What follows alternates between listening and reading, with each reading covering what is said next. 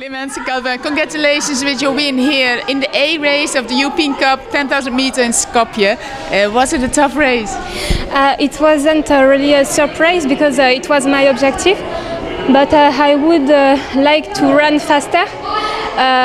but because of the warm, we can't, and I have had the chance, the chance to run with the, the best European runner the Portugal woman and uh, I was uh, very enjoyed uh, to run here with this sort of athletes. The time of 31.52, what does it tell you? I'm happy because uh, it's my personal best because it's my first race. But uh, um, during the the run in uh, my city, I I done very best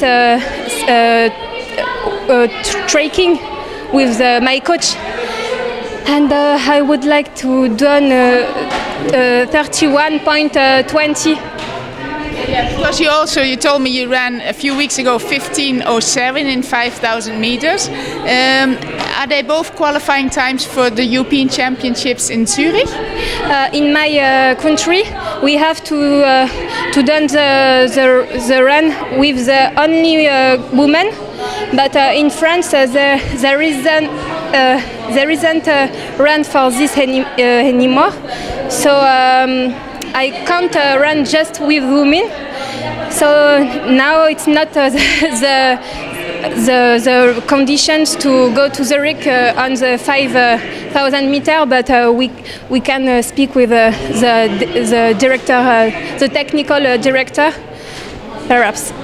Because towards Zurich, if you if you can choose, what would you choose, the 5,000 or the 10,000? I don't uh, uh, choose uh, any uh, any but for the moment I don't choose.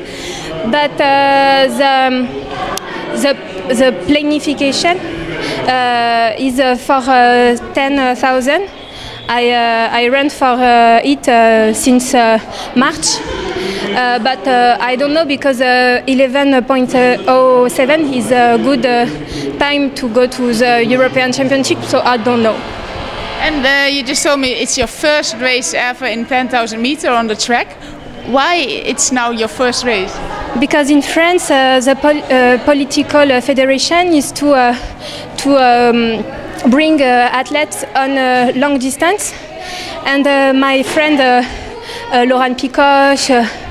Uh, Christine Bardelle, uh, French runner, uh, decided to to go on the marathon or half marathon, and so I try to do. Um, a little uh, uh, footing, I don't know, uh, jogging, running, one one hour and a half, and I I see that uh, I can uh, deconnecting the brain and run, run, run, run.